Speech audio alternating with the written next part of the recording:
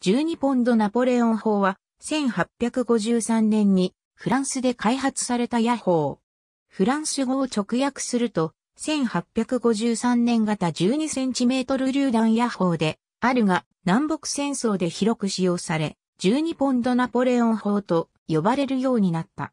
ナポレオンはナポレオン三世を意味する。なお、幕末の日本ではこの砲ではなく四金三砲をナポレオン砲と呼んでいた。12ポンドナポレオン砲12ポンドナポレオン砲は前装式格好砲であり、榴弾、実体弾、キャニスター弾、武道弾を使用でき、それ以前の実体弾のみを使用するグリボーバルシステムに比較し、大きな改良がなされている。英語では12ポンド砲と呼ばれるが、実際には12という数字は、砲弾重量ではなく、合計12センチメートルを意味する。砲弾重量は 4.1kg、すなわち9ポンドであった。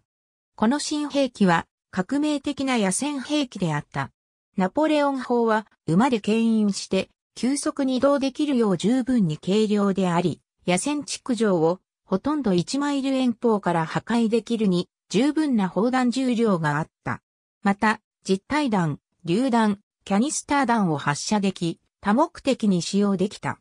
フランス陸軍は、この法を1853年に正式採用した。12ポンドナポレオン法は、南北戦争で最も広く使用された前装式格好法であった。北部では1100門、南部では600門のナポレオン法が製造された。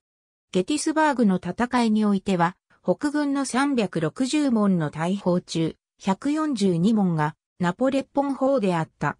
ナポレオン砲は安全性、信頼性、特に近距離での殺傷力について高い評価を得ていた。北軍の重砲マニュアルには、他の大重量、超方針の12ポンド砲と区別するために、計12ポンド砲と記載されている。アメリカに持ち込まれたのは1857年であり、アメリカ陸軍が使用した最後の制動砲であった。北軍バージョンは方針全部がやや太くなっているために区別することができる。しかしながら、他と比べてやや重く、荒れ地での移動には困難が伴った。南軍のナポレオン砲には少なくとも6つのバリエーションがあったが、ほとんどはまっすぐな砲身を使用した。しかし、戦後残った133門中8門は、マズルスウェル型であったことが記録されている。加えて、バージニア州リッチモンドのトレデガー鉄工所で製造された推定125門の鉄製、ナポレオン砲のうち4門が戦後鹵獲されている。1863年初頭、ロバート・リー将軍は12ポンドナポレオン砲に改鋳するために北バージニア軍のほとんどすべての青銅製6ポンド砲をトリディガーに送った。青銅を鋳造するための銅の不足は戦争期間中を通じてアメリカ連合国側の問題であったが、チャタヌーガ近郊のダックタウン道鉱山が1863年11月に北軍に占領されて、以降は緊急の問題となった。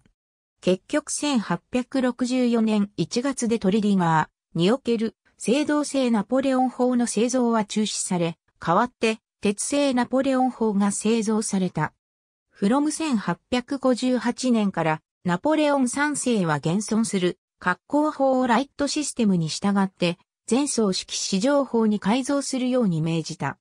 このような法は日本の戊辰戦争で使用され、ナポレオン法と呼ばれた。